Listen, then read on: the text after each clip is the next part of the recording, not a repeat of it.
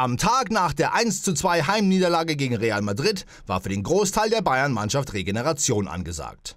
Zwar ist die Enttäuschung über das Ergebnis in der Champions League bei allen Beteiligten groß, trotzdem gilt es sich jetzt zunächst auf das Bundesligaspiel gegen Leverkusen vorzubereiten.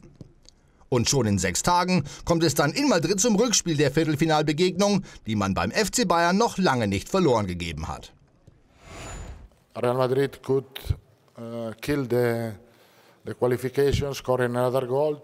They didn't score and and we are trying to do our best Tuesday. I think that we have time to to, to recover uh, Hummels and uh, and we hope also Lewandowski. And so we have Hummels, uh, we have no problem as a central back.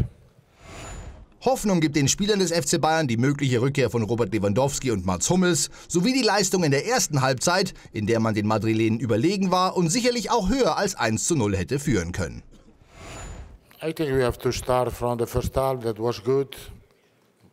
Will be difficult.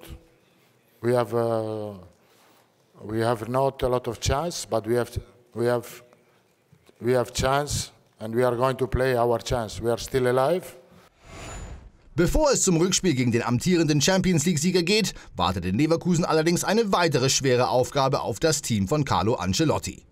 Jetzt heißt es für den Italiener und seine Mannschaft Schwung holen gegen Bayer und dann mit Selbstvertrauen rein ins Rückspiel in Madrid.